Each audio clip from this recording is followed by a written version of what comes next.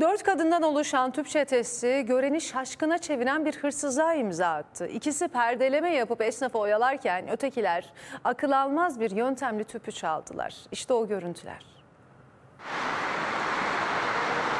İlkinde olmadı ama ikincisinde başardı. Kaşla göz arasında piknik tüpünü böyle çaldı.